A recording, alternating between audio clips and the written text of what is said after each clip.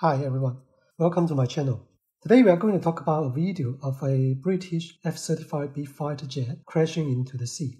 It's not related to Chinese military, but considering China is building more aircraft carriers and J-35 carrier-borne fighter just took first flight, I feel it's worthy talking about the video from Royal Navy.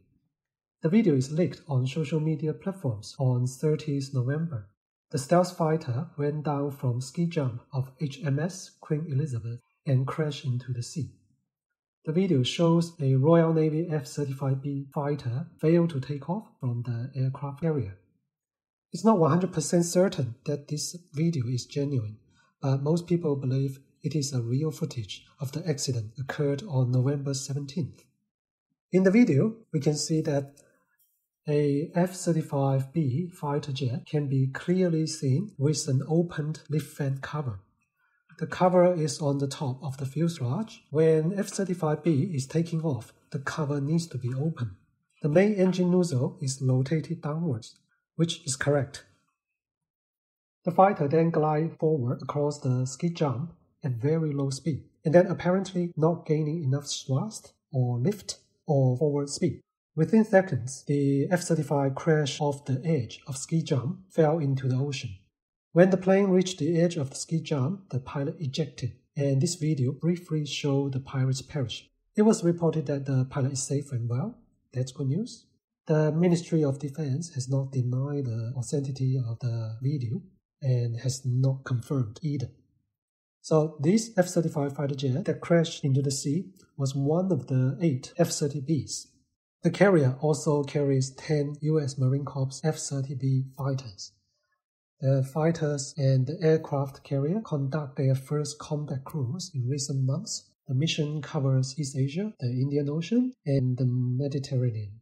In an exclusive report published by The Sun on November 23rd, the cause of the accident was described as staff's forgetting to remove a plastic cover from the plane. The cover was supposed to be removed before takeoff, but it was left on the plane. Some people think it may be the cover of the lift fan, but others believe that such a mistake could not have happened because of the size of the cover. So questions have been raised about whether a small cover on one of the sensor had not been removed. So not the lift fan large size cover, but a smaller cover. The Royal Navy has not commented in details uh, on this particular report.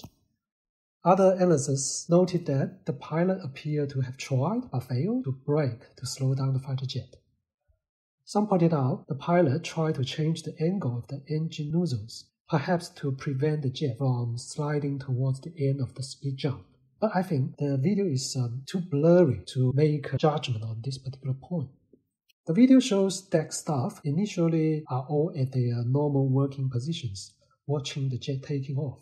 But when it became apparent the jet was moving too slowly, some of them started running, possibly realizing that the accident was inevitable and activating the process to rescue the pilot. It's also worth noting that the video shows how wide the deck of aircraft carrier is.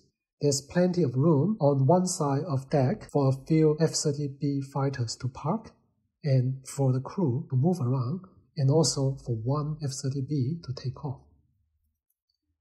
In any case, British flying activities did not stop after the accident. All F-30B fighters continued their flight training, including the US Marine Corps fighters, and they worked with the Italian as well. This could be a clear signal that the root cause of this crash was already clear to everyone on board at the time. So more importantly, it showed that the accident was highly unlikely due to technical issues that's why Royal Navy immediately decided to go ahead with more training activities. So if indeed a sensor cover caused the accident, someone of course will need to be held responsible. The cost is extremely high. F-30B easily exceeds 100 million US dollars. The Royal Navy only have eight of them. Now one of them is gone. And that is all for today. So please subscribe, share, and comment. Thank you.